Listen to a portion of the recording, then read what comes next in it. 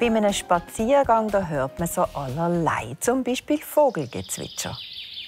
Und das ist für die meisten Erholung pur. Es gibt allerdings Menschen, für die sind auch natürliche Geräusche eine völlige Qual. Diesem Phänomen sagt man Misophonie.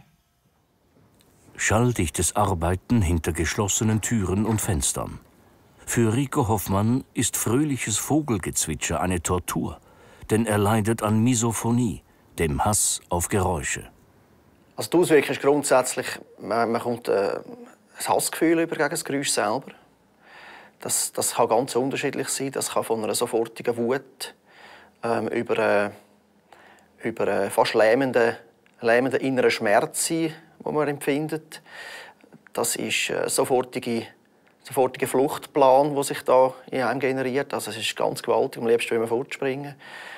Man kann sich nicht dagegen wehren, man kann es nicht abschalten. Äh, es ist, äh, es ist einfach da, man kann es nicht verdrängen, das ist ganz Verrückte. Die Reaktionen von Betroffenen auf meist völlig unauffällige Geräusche sind heftig und gehen von Türen zuschlagen, über Fäuste an die Wand hämmern bis zu Fenster zertrümmern. Bei mir ist es am Anfang relativ konstant auf der gleichen Geräusch. Es hat sich dann aber in der Pubertät äh, hat sich das sehr stark äh, verschlimmert. Und bei mir ist es jetzt nicht nur das, Visu äh, das Auditive, sondern geht auch über ins Visuelle. Äh, geht sogar über bis an ähm, äh, Hautkontakt. Also ich kann auch über die Haut äh, habe ich gewisse Reaktionen, über den Geruch. Das hat sich mir also sehr stark ausbreitet. Das ist nicht bei allen der Fall, aber es gibt äh, eine gewisse Anzahl, einen gewissen Prozentsatz, wo das also über äh, mehrere Sinnesorgane dann schlussendlich haben. Misophonie. Kaum bekannt, wenig erforscht.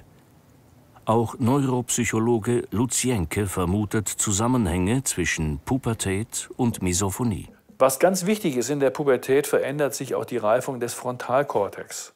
Und das ist dieses Hirngebiet hier vorne, ne, dieses Stirnhirn, das Gebiet, was also hinter den Augen lokalisiert ist. Und so kann es sein, dass zum Beispiel ein noch nicht voll ausgereiftes Stirnhirn nicht genug Kraft hat, um die akustischen Reize verarbeiteten Hirngebiete zu hemmen sodass dann gerade in der Pubertät die akustischen Reize ungehemmt durchgewunken werden gewissermaßen und sich etwas klarer und deutlicher, effizienter im Gehirn niederlegen können. Und da können dann eben relativ schnell auch eben Antipathien gegen akustische Reize entstehen. Kauen von Frühstücksflocken oder zu lautes Atmen. Besonders von engsten Angehörigen nicht auszuhalten. Selbstredend, dass diese Krankheit auch auf das Familienleben einschneidende Auswirkungen hat.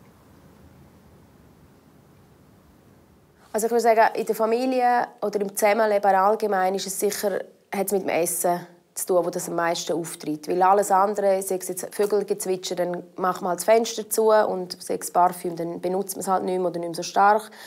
Essen muss man und ich bin ein Liebhaber von Salat und das ist dann etwas, was gerne gut geht. Ich bin jetzt äh, in der glücklichen Lage, dass ich, dass ich eine Partnerin habe, wo, wo mich so kennt, die mich auch so kennengelernt hat und das kann akzeptieren und oftmals halt auch der grosse Schnuff hat, so mit dem umgehen. Äh, wenn das nicht so wäre, wäre es wahrscheinlich nicht möglich, ähm, eine gute, aktive Beziehung zu führen. Das wäre sehr schwierig.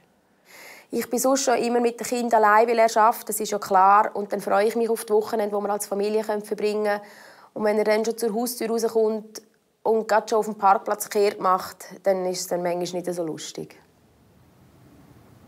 Studien zeigen, dass Misophoniker unbewusst gelernt haben, bestimmte Geräusche mit unangenehmen Empfindungen in Verbindung zu bringen. Und das kann dann natürlich auch zu einem Verstärkungsmechanismus führen. Sie wenden sich den Reizen entweder ab oder wenn sie den nicht sich abwenden können, sind sie dann ständig ausgesetzt.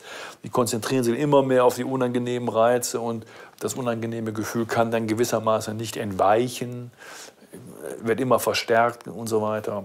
Und so kann das über Lernmechanismen sich dann gewissermaßen durchaus in das Gehirn eingebrannt haben. Um davon wieder wegzukommen, versuchen Misophoniker, den negativen Reiz bewusst an ein angenehmes Gefühl zu koppeln.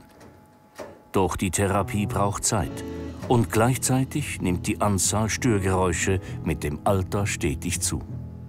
Das ist eine Sache, die wirklich ähm, nur schlimmer kann werden. Das kann nicht besser werden im Moment. Also man kennt, man kennt keinen Fall, wo es besser wird im Sinne der Medizin.